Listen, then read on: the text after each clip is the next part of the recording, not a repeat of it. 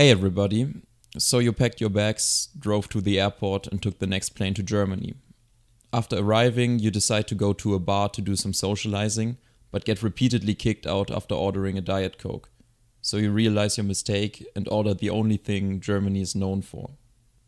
Excuse me, uh, one World War, please. Uh, the other thing.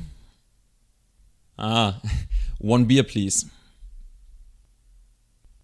Now, the good thing about ordering a beer in Germany is that you only have to be 16.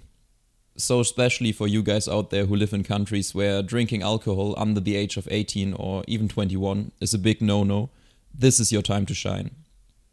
But since you don't want to sound like such a foreign loser, you decide to order your beer in German. So instead of one beer, please, you want to say ein Bier bitte. Ein Bier, bitte. Now, the waiter will probably ask you what kind of beer you want, and for you newbies out there, you can pick between three main beer categories slash options. The regular, freshly tapped beer right from the barrel, which is always a great choice. The same kind of beer also gets served in or from a bottle a lot of times, but you should obviously aim for the tap beer. In terms of brands, you will mostly find stuff like Krombacher, Becks, Veltins, Jever, Warsteiner, Bitburger, just to give you a few examples. Even though, again, this varies from region to region. I personally enjoy Becks and Veltins the most, but you will have to find out on your own. Category number two would be the wheat beer, or how you call it in German, Hefeweizen or Weissbier. If you are not in Bavaria, there's a high chance you will only be able to get this from a bottle but it's still very good. I'd say a bit a bit milder in taste. For your Hefeweizen, brands like Erdinger, Starnberger, König Ludwig, Franziskaner, or Paulaner are quite common.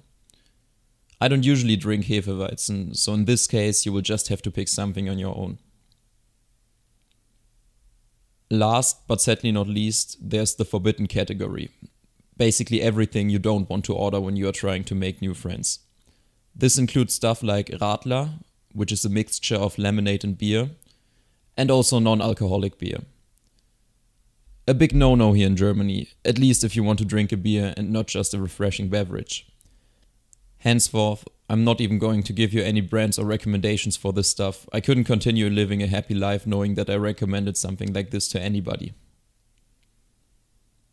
But back to ordering, you can now just say the brand that you prefer, or if you want to use a complete sentence, just exchange the beer from the sentence I taught you in the beginning with your preferred brand.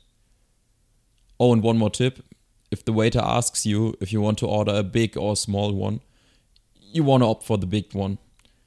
Trust me, ordering a small beer is one of the 10 German death sins, and it will get you in serious trouble.